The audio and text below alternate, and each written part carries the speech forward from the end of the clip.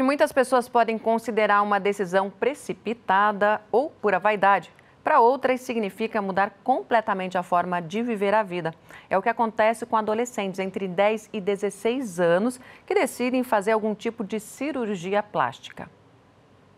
Sofia tem 16 anos, mas diferente das meninas da idade dela, evitava eventos sociais e até mesmo tirar fotos. Isso antes de realizar uma cirurgia plástica no nariz em abril deste ano. Depois do procedimento, ela se sente mais à vontade diante das câmeras e com a própria imagem. Nossa, sim, muito melhor. Agora eu consigo tirar foto, né? Antes eu me sentia muito mal é, sentindo foto, não conseguia ver fotos minhas que meus amigos, enfim, familiares tiraram minha de perfil, que eu já pedia para pagar, eu não. Nossa, eu não conseguia me ver de perfil.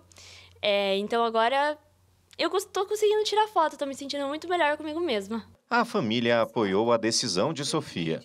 A mãe diz que antes da cirurgia a filha era mais introvertida e hoje é totalmente diferente. Percebeu que até a autoestima dela melhorou. A questão da autoestima, gente, é outra menina. Sabe? É essa coisa da gente olhar para ela e ver o sorriso e tudo mais é diferente. Então, assim, acho que 10 mil vezes, 10 mil vezes faria, né, filha? Novamente. Então, acho que é isso. E é importante, né? O apoio dos pais, do irmão também, da família. Então, a gente aconselha. Se quiser fazer, faça, que vale a pena. Segundo dados da Sociedade Brasileira de Cirurgia Plástica, no ano passado foram realizados mais de 2 milhões de procedimentos no Brasil. E as cirurgias entre adolescentes têm aumentado também no país. Esta otorrinolaringologista conta que, em seu consultório, 10% dos pacientes são adolescentes.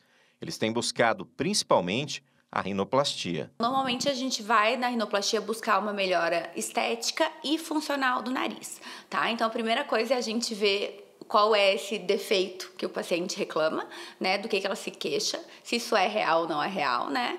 Ah, o, o defeito existe, existe. O que, que a gente vai fazer para arrumar? O que, que como que é seria o, o ajuste? Isso satisfaz o que a pessoa busca? Daí que entra a simulação também, né?